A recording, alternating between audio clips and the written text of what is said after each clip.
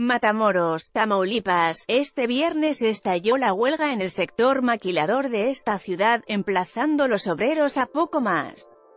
de 40 empresas, en demanda de un aumento salarial y el pago de prestaciones que les adeudan desde el año pasado, quedando bajo la bandera rojinegra a 55.000 trabajadores.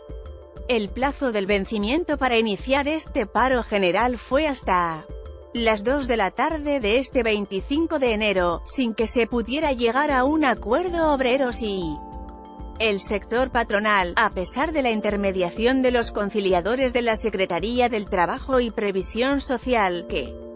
llegaron el pasado jueves a tratar de evitar la huelga. Desde el pasado 11 de enero los obreros empezaron a manifestarse al negarse empresarios a otorgar el aumento salarial del 20% que se encuentra establecido en los contratos colectivos de trabajo de las empresas, además de un bono anual, que de acuerdo a las que deberían ser los nuevos tabuladores asciendo a 32 mil pesos. La huelga comenzó después que el movimiento obrero de Matamoros, MAUM, hizo un último llamado a los empresarios para que aprueben sus peticiones y procedan a la firma del contrato colectivo de trabajo.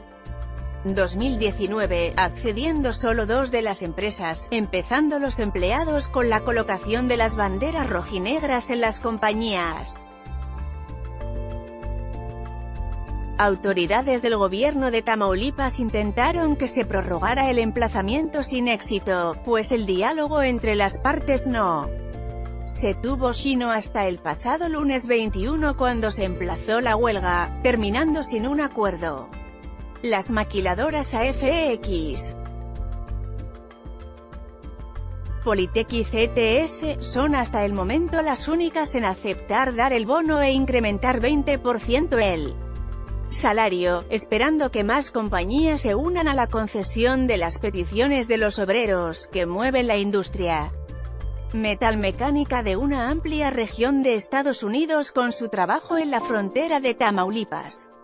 Una de las empresas que se negó de forma rotunda a dar mejores condiciones laborales fue la maquiladora, Cepillos, que ya anunció su salida definitiva de Matamoros para ir a establecerse a otra zona de la República Mexicana.